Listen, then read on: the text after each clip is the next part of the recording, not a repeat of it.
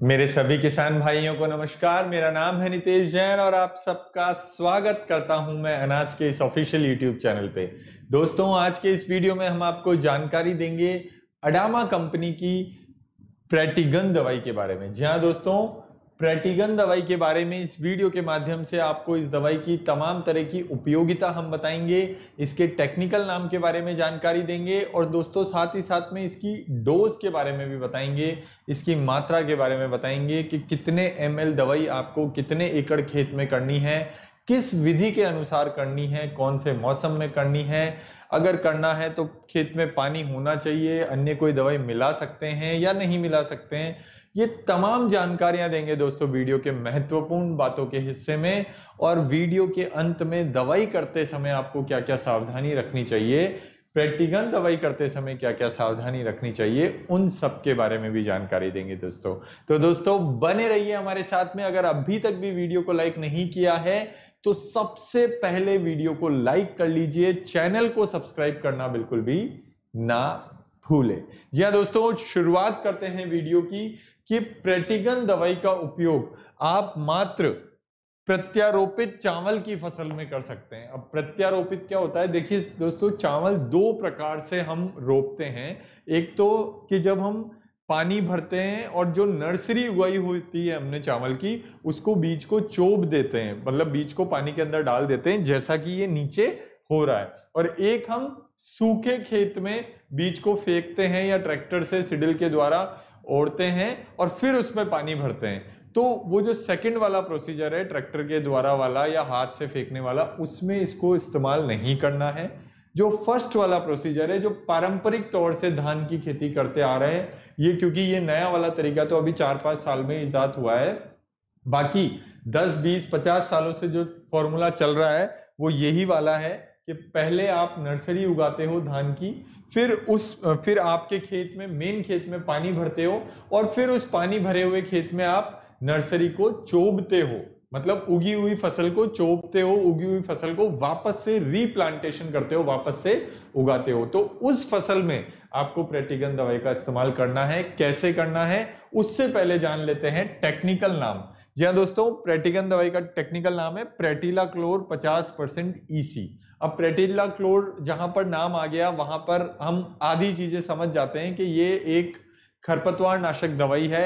धान में मुख्य रूप से प्रत्यारोपित किए हुए धान में काम आने वाले दो ही खरपतवार नाशक दवाइयाँ होती है। टेक्निकल वाइज अगर मैं बात करूँ तो प्रेटिला क्लोर और बूटा क्लोर तो ये प्रेटिला क्लोर दवाई है और इसके बारे में मैं आपको बताऊँगा आगे। वैसे दोस्तों, आपको बता दूँ बूटा क्लोर दवाई बैन हो चुकी है। प्रेटिला क्लोर की आपको डोज क्या रखनी है दोस्तों? 500 सौ पर एकड़। जी हाँ दोस्तों, इस दवाई का स्प्रे नहीं होता है।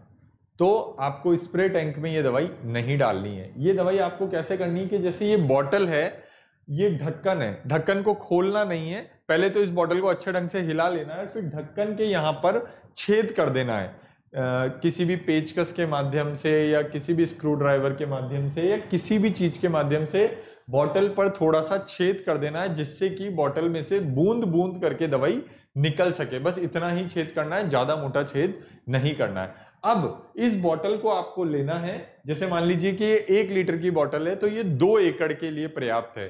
ऐसे ही अगर ये आधा लीटर की बॉटल होती तो ये एक एकड़ के लिए पर्याप्त होती। तो इस बॉटल को लेकर आपको इस खेत में, बीच में खड़ा हो जाना है और आपको ऐसे ऐसे ऐसे ऐसे बॉटल को उछालना है, बॉटल में से दवाई डालनी है। जैसे मैं आपको एक उदाहरण के तौर पे बताता हूँ, ये एक पानी की बॉटल है और इस पानी की बॉटल में ये छेद हो रहा है, ये ये छेद हो रहा है और इस छेद से अगर हम ऐसे ऐसे ऐसे डालेंगे आप खेत में, इस खेत में तो ये दवाई आपको 500 सौ प्रति एकड़ के हिसाब से करनी है। तो ये ही इसका सबसे सही तरीका है दोस्तों तो मेरी नज़र में सबसे बेस्ट तरीका यही है, क्योंकि हम इतने सालों से धान की खेती करवा रहे हैं और सबसे अच्छा तरीका यही है दवाई डालने का, विशेष तौर पे प्रेटिला क्लोर दवाई डालने का।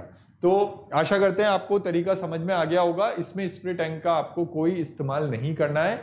डोज आपको जो बताई गई है उसी तरीके से डोज डालनी है, ना इससे कम लेनी है, ना इससे ज़्यादा लेनी है। और दोस्तों, एक चीज़ मैं विशेष तौर पर आपको बता दूँ प्रेटिला क्लोर दवाई तब ही काम करती है जब तक कि खरपतवार उगा नहीं होता है। ये एक्चुअली क्या करती है दोस्तों कि ये जो नीचे जो ये है पानी, इसके ऊपर ये काई टाइप की चीज़ जमा देती है, घास टाइप की चीज़ जमा देती है हरी हरी जिससे कि खरपतवार ऊपर नहीं उग पाता है और केवल धान का पौधा ही ऊपर उग पाता है। तो जब खरपतवार अगर उग गया है तो उस टाइम प्रेटिगन दवाई काम नहीं करेगी। जब तक कि खरपतवार उगा नहीं है, तब तक ही ये काम करेगी। वैसे मैं आपको महत्वपूर्ण बातों के हिस्से में और ज़्यादा डिटेल में समझा देता हूँ। छोटी और चौड़ी पत्ती, दलदली, वार्षिक घास, सेज जंगली घास, सावा घास आदि सभी तरह खरपतवारों को उगने से रोकता है। ये लाइन आप ध्यान से पढ़िएगा। उगने से रोकता है। उगने के बाद मारता नहीं है। रोपाई के तीन दिनों के भीतर खरपतवार निकलने से पहले इसे दवाई का उपयोग करें। जी हाँ दोस्तों, जैसे आज आपने धान रोप दिया है तो कोशिश ये करिए कि कल के दिन तक आपकी सब जगह प्रेटिगन दवाई डल जानी चाहिए। कचरा उगने से पहले, खरपतवार उगने से पहले दवाई डल जानी चाहिए। बहत्तर घंटे का आपके पास लास्ट टाइम है, बहत्तर घंटे से पहले पहले दवाई हो ही जानी चाहिए। नई खरपतवार को उगने से रोकता है एवं फ़सलों को हरापन प्रदान करता है। अब दोस्तों, ये खरपतवार को तो रोकता है, लेकिन धान में इसका कोई भी साइड इफ़ेक्ट नहीं है। धान को धान की जो ग्रोथ है, उसको ये बिल्कुल निर्बाध रूप से बढ़ने देता है और धान की ग्रोथ बहुत अच्छी होती है। धान में किसी प्रकार का कोई साइड इफ़ेक्ट नहीं होता है। फ़सल में दो तीन सेंटीमीटर पानी रखें एवं दो तीन दिन तक पानी को रोके रखें।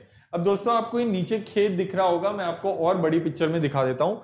ये जैसे धान की फ़सल है, इसमें दो से तीन सेंटीमीटर लगभग इतना इतना पानी भरा रहना चाहिए, उंगली जितना। लगभग इतना इतना, ये काली पट्टी है जितना। ठीक है दो तीन सेंटीमीटर पानी भरा रहना चाहिए, पानी नहीं टूटना चाहिए। नहीं टूटने का मतलब जो खेत की मेड़ है, जैसे ये मेड़ दिख रही है आपको, ये ब्राउन कलर की, ये भूरे कलर की मेड़ है, इस चारों तरफ़ से मेड़ों को आपको बाँध देना है तो जिससे पानी खेत में बना रहे और तब आप दवाई डालेंगे तो ये दवाई जैसे आपने यहाँ डाली तो ऑटोमेटिक ये दवाई यहाँ पहुँच जाएगी या ये दवाई यहाँ पहुँच जाएगी।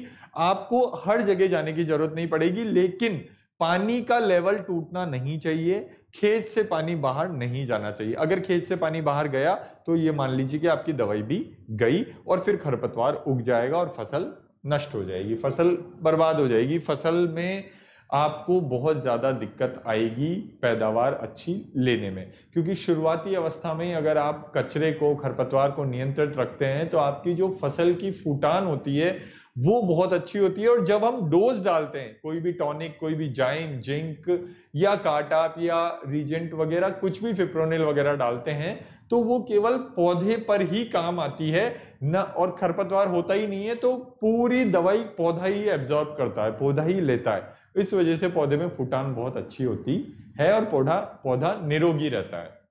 ये थी महत्वपूर्ण बातें। अब बात कर लेते हैं एक और जानकारी की। ये तेज़ी से अंकुरित खरपतवार द्वारा और कुछ हद तक अंकुरित खरपतवारों की जड़ों द्वारा ग्रहण किया जाता है, जो उभरने के तुरंत बाद मर जाते हैं। अब दोस्तों, बूटा क्लोर और प्रेटिला क्लोर में क्या फ़र्क है मोटा? जो यही है कि बूटा क्लोर तो जैसे अगर खरपतवार बिल्कुल नहीं है तो ही आपको करना है। प्रेटिला क्लोर में अगर थोड़ा थोड़ा सा खरपतवार उग रहा है, छोटी अवस्था में, बिल्कुल जैसे मान लीजिए एक दिन का ही अगर खरपतवार है उस खरपतवार को ये मारने जितनी क्षमता रखता है। लेकिन फिर भी हम आपसे गुजारिश करेंगे कि आप तो जैसे आज आपने धान बोया है, आज आपने धान रोपा है और आपको कल की डेट में, कल की दिनांक में आपको प्रेटिगन दवाई कर लेनी है ताकि खरपतवार बिल्कुल भी उगा ही नहीं हो और दवाई बहुत अच्छे ढंग से काम करे। अगर फिर भी खरपतवार उग जाता है तो उसको हल्के खरपतवार को, छोटे खरपतवार को ये दवाई मारने के लिए सक्षम है और इसका बहुत अच्छा परिणाम है। इसीलिए हाल के दिनों में बूटाक्लोर कोई यूज़ नहीं कर रहा है। सब प्रेटिला क्लोर दवाई ही इस्तेमाल में ले रहे हैं। यदि तमाम महत्वपूर्ण जानकारी आप बात कर लेते हैं दोस्तों, सावधानियों की। जी हाँ दोस्तों, सावधानी रखना बेहद ज़रूरी है। सावधानी हटी, दुर्घटना घटी। जी हाँ दोस्तों, बच्चों को दवाइयों की पहुँच से आपको बहुत दूर रखना है।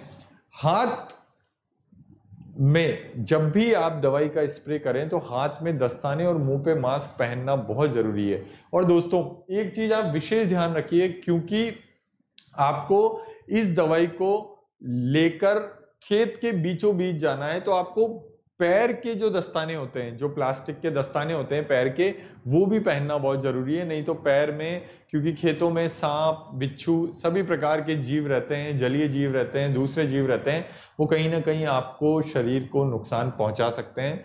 दूसरी बात दोस्तों, कभी भी आपको ज़्यादा गर्मी में दवाई नहीं करनी है। सुबह के समय ठंडे वातावरण में हल्की हल्की हवाओं में सुबह जब नमी बहुत अच्छी रहती है, जब मौसम में, वातावरण में बहुत अनुकूलता रहती है हमारे शरीर के लिए भी, फ़सल के लिए भी, उस समय आप दवाई करिए, अगर सुबह नहीं हो पाता है तो आप शाम के समय भी दवाई कर सकते हैं, लेकिन दिन के समय आपको दवाई नहीं करनी है। वैसे इसमें स्प्रे का कोई इस्तेमाल नहीं होता है, लेकिन अगर दूसरी आप कोई दवाई करते हैं तो नेपसेक स्प्रे पंप और फ्लैट फ़ैन नोजल का उपयोग करना है। दोस्तों, ये दवाई भी आपको हवा से विपरीत दिशा में नहीं डालनी है। जैसे मान लीजिए कि ऐसे हवा चल रही है तो आपको दवाई भी ऐसे ही करनी है। आप दवा, हवा तो ऐसे चल रही है और आप दवाई आप दवाई ऐसे नहीं कर सकते, वरना वो दवाई आपके ही शरीर पर आकर लगेगी। तो इस चीज़ का आप बिल्कुल ध्यान रखिए। अंत में सबसे महत्वपूर्ण बात है दोस्तों कि ये बॉटल्स जो भी पूरी उपयोग में आ जाती है, उसके बाद जो खाली बॉटल बचती है, कट्टा बचता है, थैली बचती है टीम की बॉटल प्लास्टिक की बॉटल इन सबको आपको नष्ट करके, तोड़ मोड़ के, आबादी से दूर ज़मीन में गड्ढा खोद के गाड़ देनी है। अन्य कोई भी उपयोग में, किसी भी उपयोग में आपको ये दवाई नहीं लेनी है। आशा करते हैं ये पूरी सावधानियाँ आप अक्षरशः अमल में लाएँगे जब भी आप प्रेटिगन दवाई करेंगे या अन्य कोई भी दवाई करें तो सावधानी रखना बेहद ज़रूरी है दोस्तों। ये थी पूरी जानकारी प्रेटिगन दवाई के बारे में और आने वाले वीडियो में हम आपको जानकारी देंगे दोस्तों, अडामा कंपनी की ही पेंडिगन दवाई के बारे में। जी हाँ दोस्तों, बने रहिए हमारे साथ में। अगर ये जानकारी आपको पसंद आ रही हो, वीडियो आपको अच्छा लगाओ तो वीडियो को लाइक कर लीजिए। वीडियो से वैल्यू मिली हो तो दूसरे किसान भाइयों के साथ में शेयर कर दीजिए इसको। व्हाट्सएप फेसबुक इंस्टाग्राम की स्टोरीज पे लगाइए स्टेटस पे लगाइए। और साथ ही साथ में दोस्तों चैनल को सब्सक्राइब करना बिल्कुल भी ना भूलें। नोटिफिकेशन का घंटी वाला बटन दबा दीजिए ताकि आने वाले वीडियोस की जानकारी आपको नोटिफिकेशन के माध्यम से मिलती रहे और आपका और हमारा साथ ऐसे ही बना रहे। दोस्तों, नमस्कार।